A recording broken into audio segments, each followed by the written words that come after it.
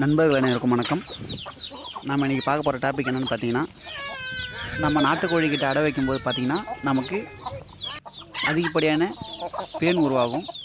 அந்த கோழி பேன் பார்த்திங்கன்னா அடை வச்ச கோழிங்க மேலேயும் அப்புறம் பார்த்திங்கன்னா அது மட்டும் இல்லாமல் நம்ம வீட்டுக்குள்ளே அடை வச்சோம்னா நம்ம வீடு முழுவதும் வர வாய்ப்பு இருக்குது இதனால் என்ன ஆகும்னு பார்த்தீங்கன்னா கோழி பேன் நம்ம மேலெலாம் ஏறிக்கிட்டு நமக்கு ஒரு விதமான தொந்தரவு ஏற்படுத்தும்.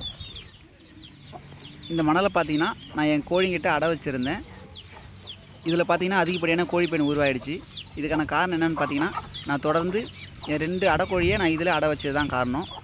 நமக்கு இதுமாரி கோழிப்பெண் உருவாகி இருந்தால் நம்ம இயற்கை முறையில் எப்படி தடுக்கலான்றதை பற்றி நம்ம இந்த வீடியோ பதிவில் பார்க்க போகிறோம். வீடியோவை கடைசி வரைக்கும் ஸ்கிப் பண்ணாமல் பாருங்கள் நடுவில் ஸ்கிப் பண்ணாலும் உங்களுக்கு புரியாமல் போகலாம். வாங்க நீ வீடியோக்குள்ளே போகலாம். நமக்கு இந்த கோழிப்பேனை வெட்டத்துக்கு தேவையான பொருட்கள் என்னென்னு பார்த்தீங்கன்னா நமக்கு ரெண்டே ரெண்டு பொருள்லாம் தேவை. ஒன்று என்னென்னு பார்த்தீங்கன்னா எருக்கம் இலை.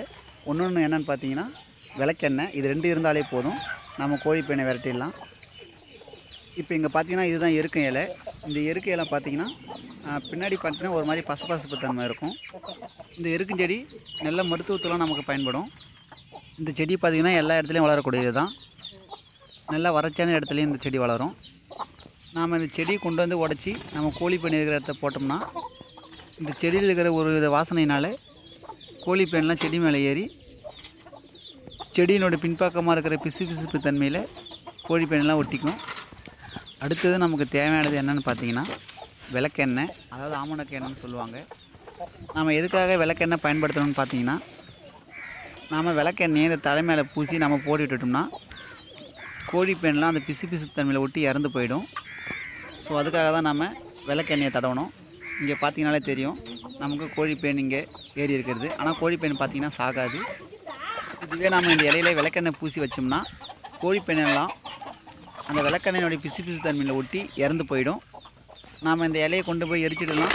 இல்லைன்னா ஒரு பள்ளம் நோண்டி பள்ளத்துக்குள்ளே போட்டு புதைச்சிடலாம். இப்போ நான் எப்படி செய்யலான்றதை நான் உங்களுக்கு செஞ்சு காமிக்கிறேன். நாம் எருக்கந்தழை எடுத்து விளக்கெண்ணெயை கொண்டு இலையினுடைய மேல் பக்கமாகவும் கீழ்ப்பக்கமாகவும் நாம் பூசி விட்டுறணும். இது மாதிரி நாம் வச்சிருக்கிற எல்லா இலையிலையும் நாம் பூசி விடணும். நாம் இது மாதிரி பூசி விட்டுட்டு கோழி பேன் இருக்கிற இடத்த கொண்டு போய் நாம் இந்த தழையை போட்டு விட்டுட்டோம்னா கோழி பேன்லாம் இதுக்குள்ளே வந்து ஒட்டிக்கும். நாம் இது மாதிரி கோழி பேன் அடை வச்ச இடம் முத கொண்டு நாம் எல்லா இடத்தையும் நாம் போட்டு விட்டுறணும். நாம் ஒரு நாள் முழுக்க போட்டு விட்டுட்டோம்னா கோழி பேன்லாம் வந்து இதில் ஒட்டி இறந்து போயிடும். இப்போ நான் உங்களுக்கு காமிக்கிறேன். இப்போ இந்த மணலுக்குள்ளே இருந்த பேன்லாம் பார்த்தீங்கன்னா இந்த இலைக்குள்ளே ஒட்டி இறந்து போயிருக்கிறத பார்க்க முடியும். ஸோ உங்களுக்கு இங்கே பார்த்தீங்கனாலே தெரியும். இதுவே நம்ம வெறி இலை வச்சுருந்தோம்னா கோழிப்பேன் வாசனைக்கு ஏறுமே தவிர சாகாது. ஸோ நாம் இதுமாரி விளக்கெண்ணெய் தழையை வச்சோம்னா அதில் ஏறி ஒட்டிக்கிட்டு இறந்து போயிடும். நாம் இந்த தழையை கொண்டு போய் நாம் எரிச்சிடலாம் இல்லைனா குழி தோண்டி புதைச்சிடலாம்.